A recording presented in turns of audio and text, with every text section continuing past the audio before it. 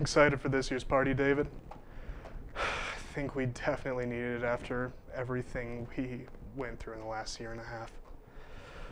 Yeah, hopefully, this party will remind everyone that we can go back to life the way it was before the pandemic hit. I wish I could just forget it.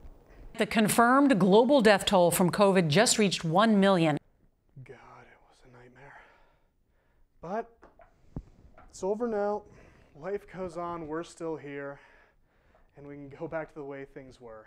That's why I want to have this party so bad.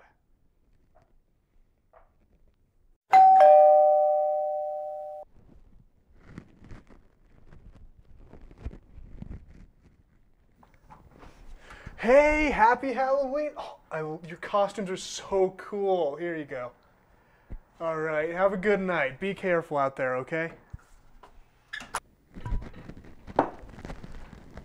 Hey, David, can you turn the music on?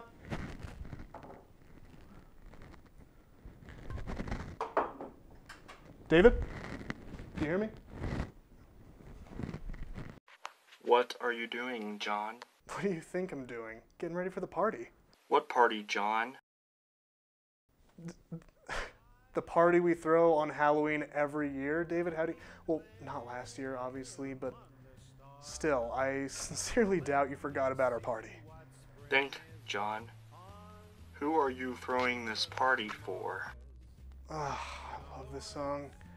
This brings back good memories.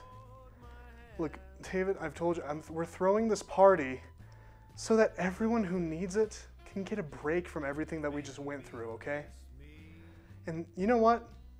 Everyone deserves a break, and that includes us. Who's us, John? What are you talking about? I'm gone, John.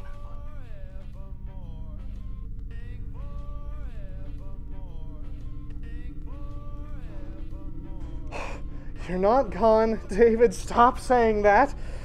We need to let go, John. David, David, I, I, I know it's the Halloween party. You're trying to freak me out or whatever, but just stop. It's getting old, okay? I, I can't do this anymore. You're right, John. Let's just have a good time. You have to let go. Oh, dang dong! There's more trick or treaters. Hey, happy Halloween! Trick or treat. Oh, you! I love your costumes. Oh, here you go, kids. All right, you be safe tonight, okay? Happy Halloween.